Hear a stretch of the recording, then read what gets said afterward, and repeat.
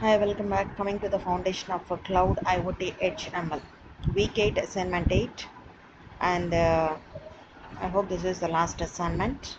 And after this assignment, you have to go for the exam. So, uh, prepare the previous assignments and material also.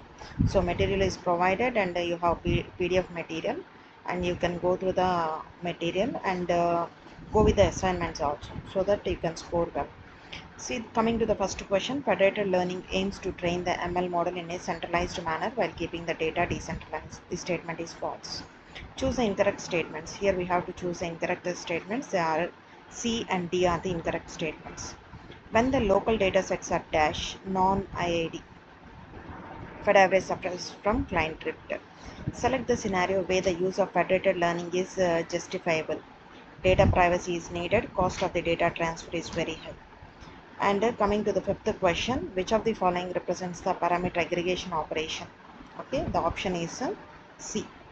The Kalman filter is used in autonomous driving for reliability. Dash acts as an interface between the applications and a device that is sending sensor data to the cloud. AWS IoT Core. Dash maintains a highly secure footprint at the at, uh, of all the devices. If there is any anomaly, it raises an alert so that uh, it it so that is a fleet audit or uh, protection service.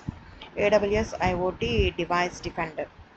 A message broker in AWS uses which of the following protocols? MQTT. In the first phase of uh, event-driven AWS IoT architecture, event data is in, ingested into the cloud using the edge to cloud interface services such as AWS IoT Core. The statement is true. Now you can submit your answers and uh, all the best for your exam. Prepare well. Thank you.